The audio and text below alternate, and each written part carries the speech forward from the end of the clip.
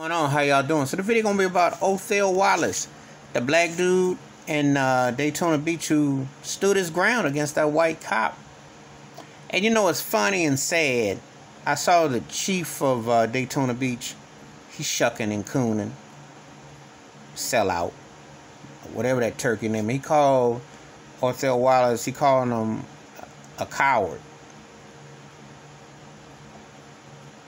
He love black folks against black folks, you know.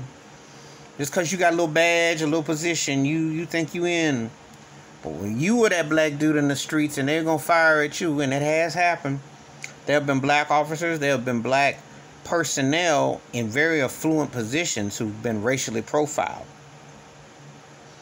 But when you you shucking and going, yes, a master boss, yes, a boss, suddenly you you're well, he's a coward.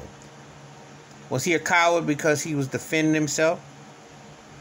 Cop comes up to his car door and could cap him. They don't have to give no badge no honor. They don't taser you. They shoot you first. They shoot you three, four times. See, little sellout jive turkey uh, chief don't know nothing about George Floyd. Don't know nothing about Breonna Taylor. Don't know. This cat, Othello Wallace, was doing what George Zimmerman got off for doing with Trayvon Martin. Am I right? Stand your ground. Am I right? Is Florida not stand your ground? How do you know what that cop's intention was? How do you know? Let me tell you something.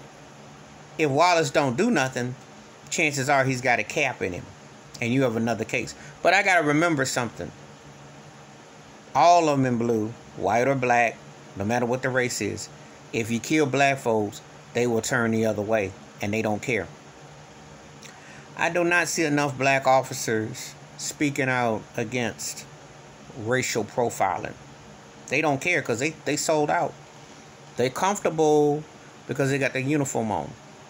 They don't care about black folk. If they did, they would stand and speak about the integrity. You know, if you're going to be associated with something, you got to speak out against it if it's wrong and they don't do it. And some of them are worse than the white ones. And you know the white ones are just as quick to join the Klan openly. Anyway, Othal Wallace was standing his ground. Who knows what would have happened if he hadn't had his peace and this cop. Because what's a suspicious car? No, your skin is suspicious. That's what happens though. And you see it unfold. It's going to be interesting how this case turned out. And they had a big time reward to capture him over 200000 They found him in Atlanta. And he was part of a black group originally. Then he got kicked out, but he was part of a black group that protested against police brutality. But you know what it says in America. You can't be black and have nothing nice. Because you're going to definitely be questioned. And they're definitely going to mess with you. Those are just the rules. Those are just the rules. So, Othal Wallace, he was standing his ground it's unfortunate that cop got shot. However, when you're black and a white officer approaches you, you don't have a lot of time because they're not going to treat you the same.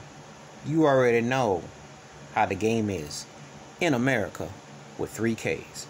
Please hit the like, subscribe, and welcome thoughts and comments, and I do respond. Thank you. Wash your hands, keep your mind clear, watch out for another, and um, you know, they want this because they just don't care about black folks. And the sad part is some of them black chiefs and them people that work there are the worst. All right, catch y'all out.